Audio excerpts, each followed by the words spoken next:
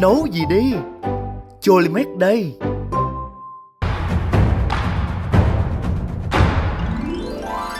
Nước mắm hương Việt gói trọn tinh hoa của biển cả trong từng giọt nước mắm cốt các cơm tươi nguyên chất, đảm bảo vệ sinh an toàn thực phẩm, thơm hương truyền thống. Cholimex Food, gia vị cuộc sống. Ở đầm phá Tam Giang cầu 2 có một đặc sản được mệnh danh là tinh túy của nước. Mềm mại, mơn mởn, cho cảm giác mát miệng ngày hè.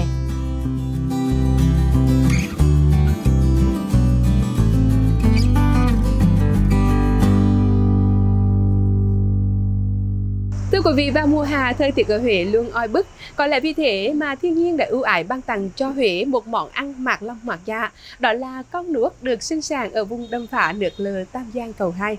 Những con nuốt nhỏ bằng một vòng tròn ngón tay, trong xanh mơn mởn khi kết hợp với trái dưa gang đặc sản của vùng đất cát Huế sẽ tạo nên một món ngon cho ngày hè oi ả. Đó là món dưa gang trộn luộc chân.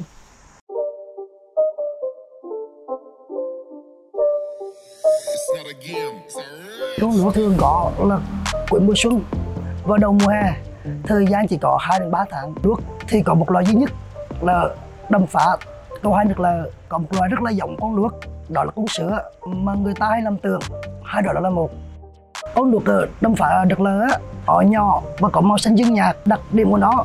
Thì ăn rất là giòn thanh mát. Còn riêng con sữa thì nó có quanh năm và thường sinh sống ở biển và có thể có độc tố, có thể là gây ngứa. Món ăn này đã được mô tả qua bài thơ trong cuốn sách Thực phẩm Bách Thiên. Ba cái gọt vỏ, sắc vuông ra, rắc muối vừa vừa bọc rửa qua, được mắm, tiêu hành, tôm xịt tỏi, xào đều để nguội, đục trứng pha. Luộc trùng dưa gang là một trong những món ăn độc lạ đối với mua hè xứ Huế. Thưa quý vị, từ sáng sớm những rổ nuốt sẽ theo chân người dân của vùng đầm phá Tam Giang đến với các ngôi chợ thành phố. Với những người sân ăn, món đầu tiên phải cho vào giỏ đó chính là bia luộc chân và trải dưa gang.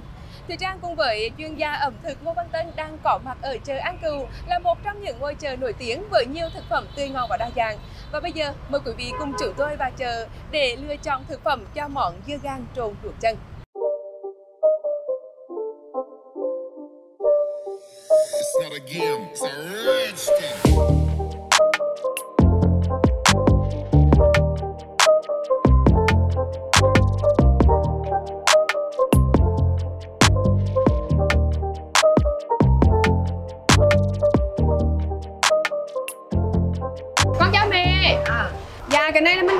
Hả mẹ? cái này 10 ngàn cái Dạ. này 35 ngàn Dạ. Cái này là nuốt ở đâm câu 2. à, à, đó, đó. Nuốt này thì mùa nào trong năm là có nhiều nhất hả mẹ?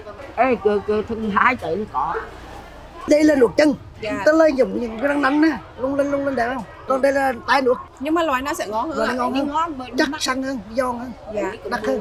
Và làm sao để mình phân biệt được là cái nuốt nó con tươi và ngon hẳn? Tức là nhìn cái cái nó độ xanh của nó, màu xanh màu xanh ngọc á, ăn thường con- màu xanh ngọc của nó này, trong vắt. Cái nuốt ní là người Huế mình thích ăn lắm sao ờ? Huế Huế thích ăn lắm mấy đứa đi bên Mỹ về nữa Dạ. mua mà về ăn Qua những chia sẻ của mẹ thì chúng ta có thể thấy rằng là nuốt là một món ăn rất là yêu thích của người dân xứ Huế, đặc biệt là Dạ. đối với những à, người dân Huế xa quê thì đây cũng là một món ăn gợi thương gợi nhớ khi mà họ nhớ về quê hương của mình. Bây giờ tiếp theo là mình sẽ mua dưa gang đúng không ạ? Về mũi dưa Dạ. Ồ, dưa ngon. Dưa gang này bán sao chị? Ký 10 ngàn. Một ký 10 ngàn. Rồi lựa dưa gang như, như thế nào cho ngon ạ? Dưa gang nó ngon với tôi đó À, Bóng mượt nó ngon. xanh thì ngon là nó xanh và nó bóng như là dưa con nón đúng không ạ? Tháng nào trong năm là cái dưa gang này sẽ nhiều nhất ạ? mình tư là dưa nhiều Dạ. Thường thì dưa gang là ở vùng nào là nhiều nhất hả chị? trên nò trên dân đài phù màu đó Thưa quý vị, ngoài hai nguyên liệu chính là dưa gang và nước thì à, không thể thiếu à, rau thơm đúng không ạ? Đúng. Và bên cạnh đó thì còn có à, tôm cùng với thịt ba chỉ. Và bây giờ thì Thùy Trang cùng với anh Tân sẽ tiếp tục mua những nguyên liệu còn lại. Mà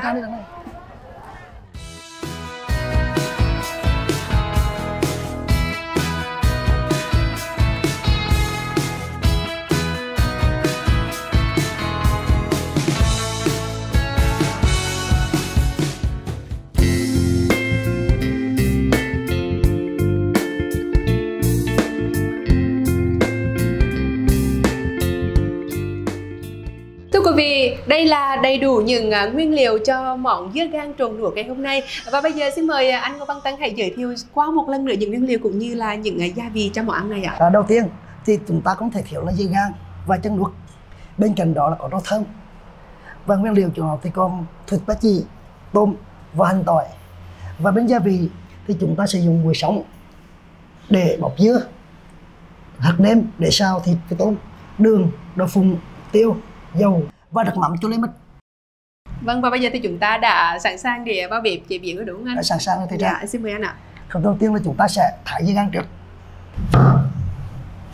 Chúng ta sẽ vứt hạt đi. Tại vì khi khi mà trồng gỏi thì mình để hạt thì nó bị nhây ra.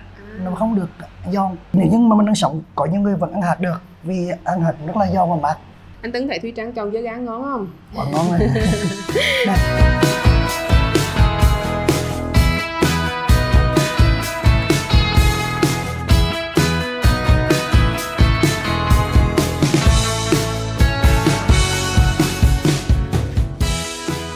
là chúng ta thái mỏng Thái vuông Thường thì Trang thấy là cái món dưa gan này á, à, hoặc là những cái món à, củ quả khác khi mà làm gỏi hay là món trộn thì người ta sẽ sắc sợi.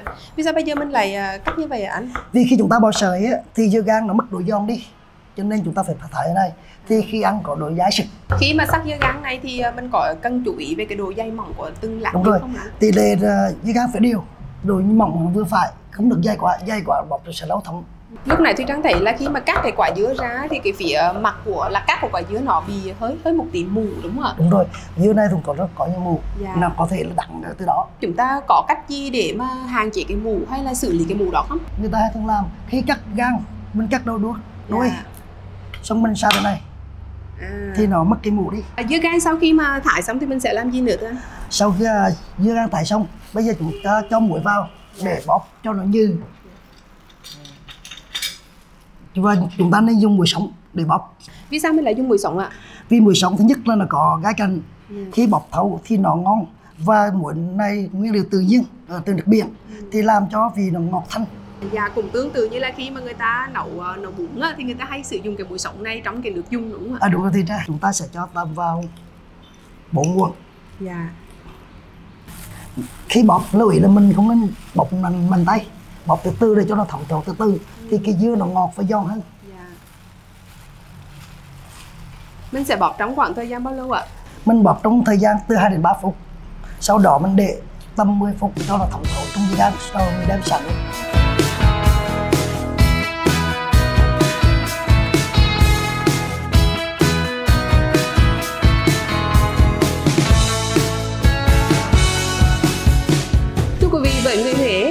gan được chế biến thành hai món ăn khá phổ biến, vừa mát lại vừa mặn miệng, đó là dưa gan chấm ruốc và dưa gan bóp hay còn gọi là trộn.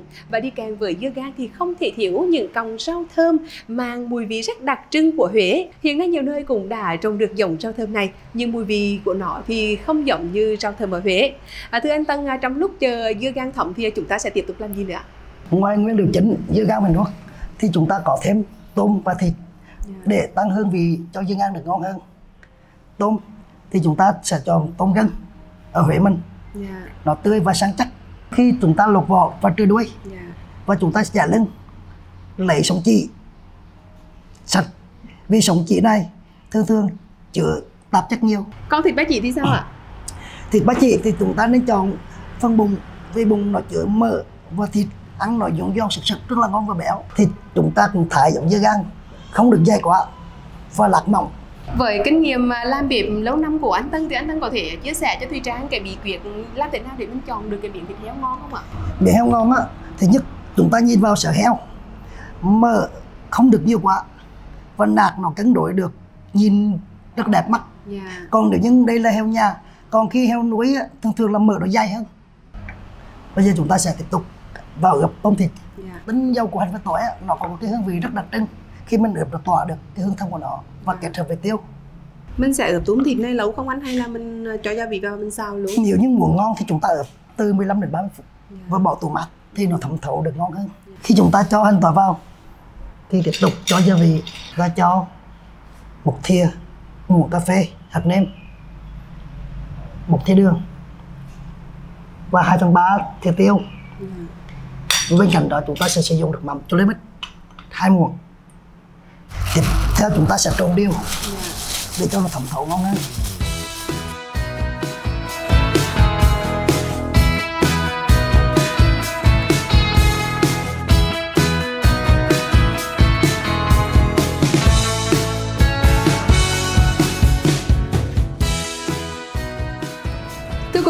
Nước chấm được xem là cầu nối giúp các nguyên liệu trở nên hài hòa, đồng nhất và tạo hương vị riêng biệt cho từng món ăn. Đối với dưa gang và luộc chân, nếu ăn trực tiếp thì rất hợp với ruốc, còn nếu trùng thì không thể thiếu chén nước chấm. Và bây giờ là công đoạn thực hiện nước chấm cho món dưa gang trùng luộc chân. À, mình sẽ chế biến như thế nào hả anh Tân? đầu tiên thì chúng ta sử dụng ớt và tỏi tỷ lệ ớt khoảng tầm hai trái quan trọng độ cay của mình thích ăn ít nhiều và tỏi ớt và tỏi sau khi giả xong chúng ta sẽ cho đường vào. Tỷ lệ một muỗng đường là một muỗng nước mắm. Chúng ta sẽ cho một rưỡi đường. Và chúng ta quay lên để cho đường khi kết hợp với tinh dầu của ớt và tỏi nhả ra rất là thơm. Có cách để ngon hơn nữa. Và nhân tan hơn. Thì thùy trang bỏ đường vào giả cùng một lúc. À, bây giờ mình cho nước mắm vào luôn hay sao? lúc này thì chúng ta sẽ cho vào một cái chanh. Dạ. để đẩy hương mùi vì lên nó ngon được ngon hơn nó thanh hơn có vị chua Cái khấu làm nước chấm này cũng rất là quan trọng là quyết định đến cái hương vị của món ăn đúng không ạ? đúng rồi trang món ăn của Huế thường thường có chua cay mặn ngọt bùi nó ảnh hưởng đến cuộc sống Dạ. À, nên là à, những cái du khách ở, ở miền Bắc hay là miền Nam mà khi đến Huế thì họ rất là ngạc nhiên trước những cái đồ chấm trong những cái món ăn của mình mỗi món ăn lại gắn với một cái à, đồ chấm riêng đúng rồi thì trang dạ. ví dụ trong à, ở mình đặc sản có mắm nêm này ruột này Dạ.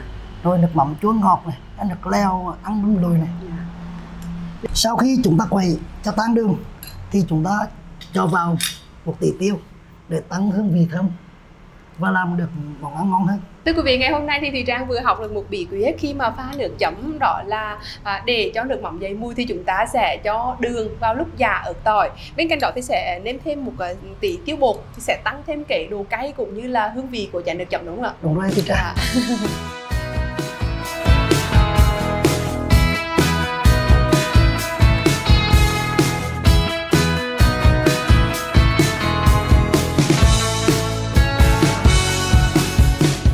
Và như vậy là đã xong phần nước chấm thì chúng ta sẽ tiếp tục à, trở lại xào tôm đúng không anh? đúng rồi chúng ta sẽ xào tôm thịt khi chảo đã nóng mình cho dầu vào. Dạ. và chúng ta không thể thiếu hoàn toàn phi thơm khi tỏi hành đã vàng thì mình cho tôm thịt vào đảo đều. Khi mà xào tôm thì mình có cần lưu ý gì không hả đầu tiên chúng ta cho lửa căng để săn tôm thịt và khi nó săn tạm được thì mình cho hạ lửa nhỏ lại để cho nó thẩm thấu và chín dễ chín hơn Tôi Trang nghĩ là cái vị béo của cái thịt ba chỉ thì nó sẽ tăng thêm cái độ kích thích cho cái món dưa gan luộc này đúng không? đúng rồi ra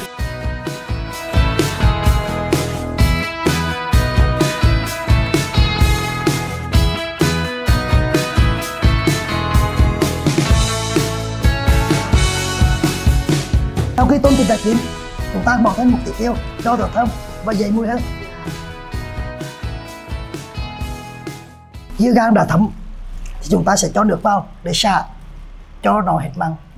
Khi chúng ta vắt lưu ý vắt thật khô nước để dưa được ngon hơn một yếu tố quan trọng làm nên vị ngon là miệng cho món ăn này chính là nuốt chân. Mùa nuốt Huế chỉ xuất hiện thời gian ngắn vào mùa hè. Nuốt được ăn tươi và ăn trong ngày. Nếu để qua ngày hôm sau thì sẽ bị rọn lại và không còn ngon nữa. Loại nuốt này rất lành, ăn mát và không ngứa như sữa. Nó được xem là một vị thuốc thiên nhiên giải nhiệt tức thì nên đến mùa hè thì hầu như là nhà nào ở Huế cũng có tô nuốt trong mâm cơm. À, thưa anh Tân, sau khi mua nuốt về thì à, mình sẽ bảo quản như thế nào trước khi ăn ạ? Cơ bản con luộc rất là sạch. Cho nên khi về chúng ta rửa qua nước rồi ngâm nước. Kèm có những con to con nhỏ chúng ta cắt ra. Luộc dài phần. Thân của nó là giống thân tay gọi là tay luộc còn đây gọi là chân luộc thường người ta hay ăn chân luộc hơn vì chân luộc nó độ giòn cao hơn Dạ. và vị ngọt thanh nhiều hơn. À. còn tay luộc thì nó ăn mềm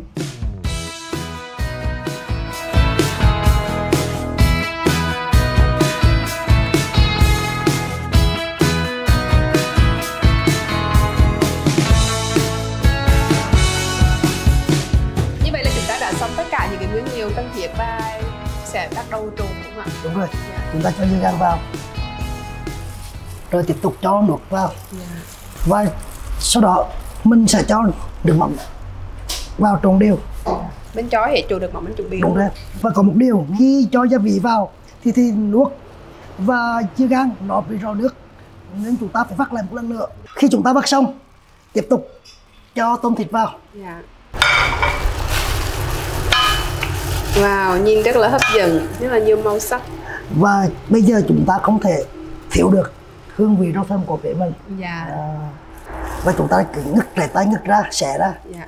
Thế sao mình không dùng kẹo cắt cho tiền hả? thứ nhất là kéo cắt thì, thì nó không được tỏa hương thơm của tinh dầu và chúng ta bọc này là có vừa độ đặc nhẹ và chúng ta trộn đều nhờ thùy trang bỏ đậu phộng giúp tăng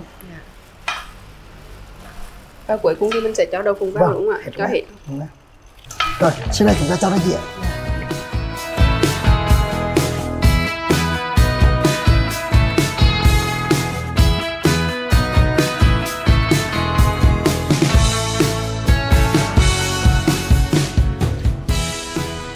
vì món dưa gan trộn luộc chân của chuyên gia ẩm thực Ngô Văn Tân đã hoàn thiện. Mới nhìn thôi thì cảm thấy rất là mát mắt với màu xanh của dưa gan, rau thơm cùng với những à, con luộc trong phân phật xanh. Những à, miếng tôm gân khiến à, Thùy Trang liên tưởng ngay đến vùng đầm phá mát mẻ với bao nhiêu là thủy sản thơm ngon nổi tiếng của Huế. Và bây giờ mời quý vị hãy cùng Thùy Trang à, và chuyên gia ẩm thực Ngô Văn Tân thưởng thức món ăn này.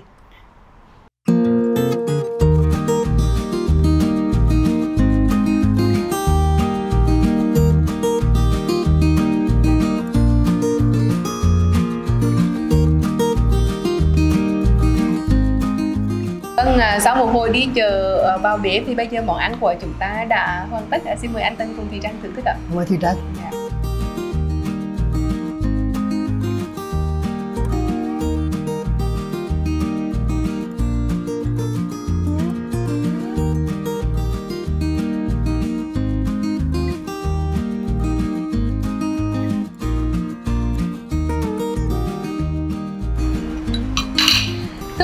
thì Trang cảm nhận được vị giòn giòn của dưa gan, sật sật dai dai của nước, vị ngọt thanh của nước chấm xen lẫn với tôm thịt rất là đậm đà cùng với vị bùi bùi của đầu phòng rang và đặc biệt đó là mùi thơm rất là đặc trưng từ rau thơm của xứ Huế. À, món ăn này rất là bắt miệng thưa anh Tân. Thì Trang thấy rằng là à, món à, luộc trộn dưa gan này á là một cái món khá là đặc biệt của xứ Huế. À, nhưng mà rất là hiếm thấy được đưa vào trong thực đơn của các nhà hàng đúng không ạ? đúng rồi thì trang. Vì thực chất món luộc này rất là hiếm. Chỉ một trong một năm chỉ có hai đến ba tháng và là số lượng có hàng nên gì họ rất ít đưa vào món thực đơn của nhà hàng. Dạ, như vậy thì nó chỉ đủ để à, phục vụ cho cái à, việc ăn uống của người dân mình của người địa dân phương. hàng ngày. Dạ. À, vâng và cái cách ăn mùa nào thức nấy của người dân Huế thì nó rất là hay. À, vừa ăn được à, những cái hải sản ngon à, lại rất là rẻ nữa. đúng rồi thùy trang. Mùa này ngoài món luộc ra thì có món cá kinh cá kinh nấu với canh thơm cà hay hấp với bông tây rồi có món uh, lệch lệch Dạ. khoai lệch huyết.